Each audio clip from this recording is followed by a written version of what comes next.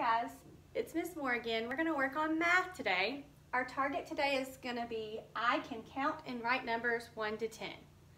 I know you worked on making numbers on your tens frame yesterday. We're gonna do the same thing and add a little bit to it. So if you don't have your tens frame and your counters from your bag, please pause the video and get them. All right, so you are going to help me and we're going to make the number four. Make for me the number four on your tens frame. One, two, three, four. Now, this is the number four.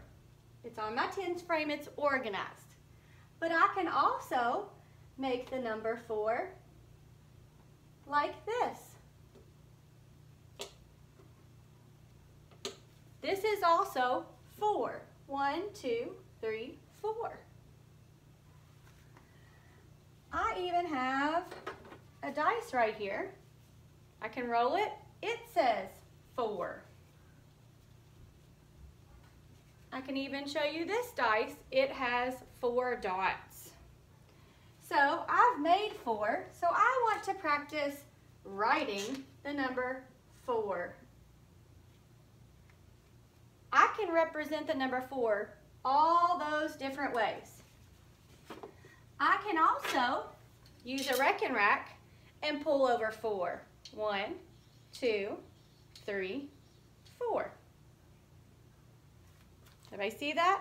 I made four right here. I have four. Another way to make four. All right, so clear off your counters and let's make another number.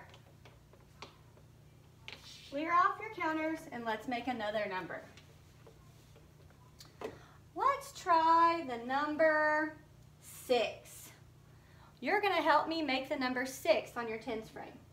One, two, three, four, five, six. I have six.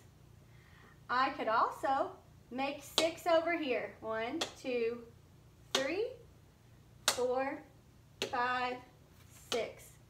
It's just not as organized as my tens frame, but I still have six counters, okay? I can use a dice with the number six, and I can write that number six. Okay, I can show you the dice face with the number six. It has six dots. I can also show you my rekenrek and I can move six. I know that this is five, five red, one white. I have six. That's another way to make six.